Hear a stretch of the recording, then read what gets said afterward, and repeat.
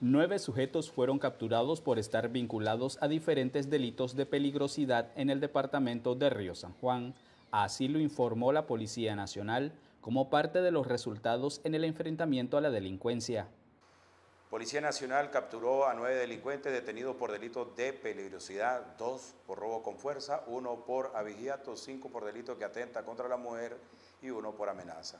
Evidencias ocupadas de los delincuentes, un equipo de sonido, electrodomésticos.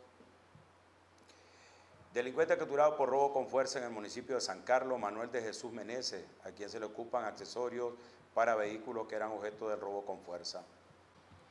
Delincuente capturado por delito de robo con fuerza, eh, Elder Antonio Talavera, evidencia ocupada de delincuente, abanico y televisor.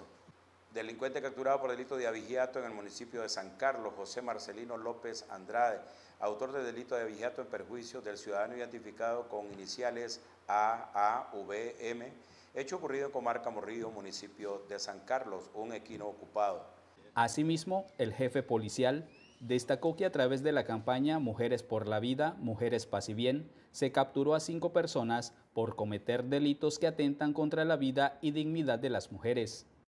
Investigadoras de la Comisaría de la Mujer en Río San Juan capturaron a cinco delincuentes.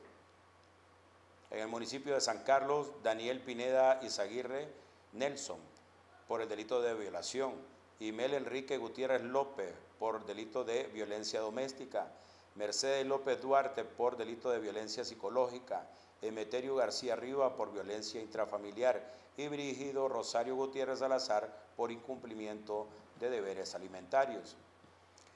Bartolo de Jesús López García, detenido por el delito de amenaza en el municipio de San Carlos.